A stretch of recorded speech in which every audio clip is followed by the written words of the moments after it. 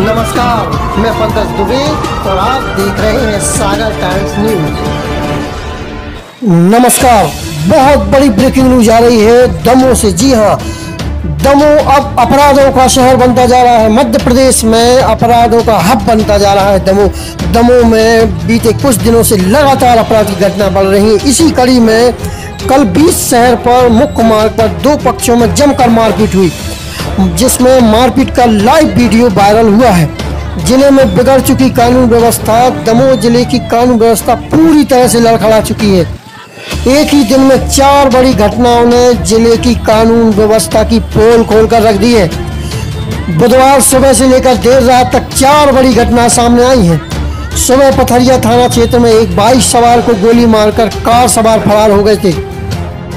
वहीं दूसरे मामले में मड़ियादो थाना क्षेत्र में एक मुख दृष्टि बाधित महिला से एक युवक ने बलात्कार किया।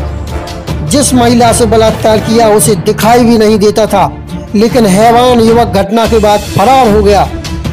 वहीं शाम के समय देहात थाना के वांसनी गाँव में दो पक्षों में खूनी संघर्ष में आठ लोग घायल हो गए थे। मामला यही शांत नहीं हुआ, इतना ही नहीं। और रात होते होते कोतवाली थाना क्षेत्र में किल्लाई नाका समीप दो पक्षों में जमकर मारपीट हुई। बीच सड़क पर हुई गुंडागर्दी का लोगों ने वीडियो बनाकर वायरल किया।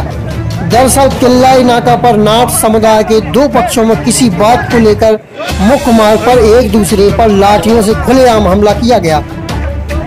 एक दुकानदार ने बीच बचाव तो किया, लेकिन उस पर ही आरोपी हावी हो गए।